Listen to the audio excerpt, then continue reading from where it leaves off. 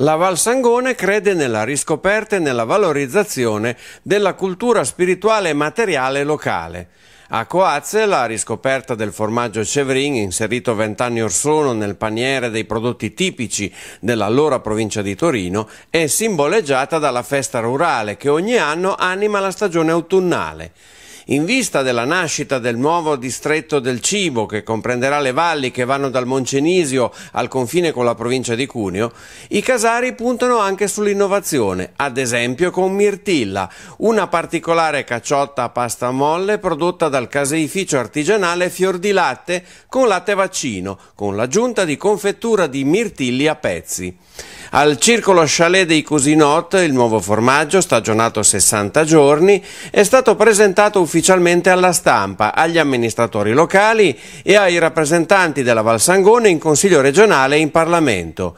In abbinamento lo chef del circolo ha preparato la cipolla ripiena d'eco di Coazze, mentre i panificatori di Giaveno e Coazze hanno presentato il pane d'eco e i biscotti del Pellegrino.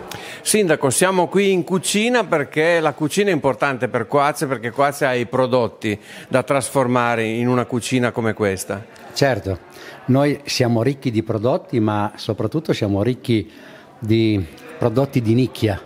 Noi, come avete avuto modo di vedere, eh, abbiamo e creiamo quando non li abbiamo dei prodotti particolari.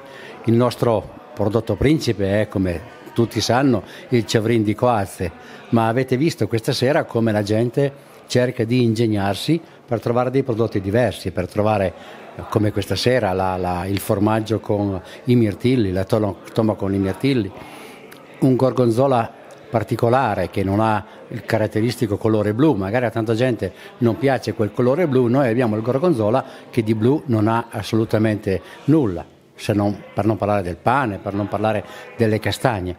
Ma il bello di tutto questo è che sono tutti prodotti che noi abbiamo sulla nostra montagna, abbiamo oltre i mille metri. Quindi sia le castagne, che sono proprio al limite, al limite, al limite, perché più in su non crescono più, le patate, che invece eh, le patate di montagna hanno una caratteristica eh, particolare, e logicamente eh, tutti prodotti di animali che vengono regolarmente portati in alpeggio. Questa è la caratteristica che dà ai nostri prodotti quel gusto particolare, perché quello che eh, mangiano in montagna è diverso da quello che possono mangiare in pianura. Ramona Giacone, dunque questa sera lei è la protagonista con questa cacciotta mirtilla.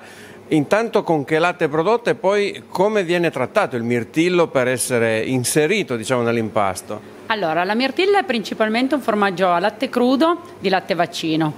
I mirtilli vengono trattati come una conf- classica confettura, vengono messi, fatti bollire con lo zucchero in modo che non si trasformino poi nella stagionatura e non producano muffe.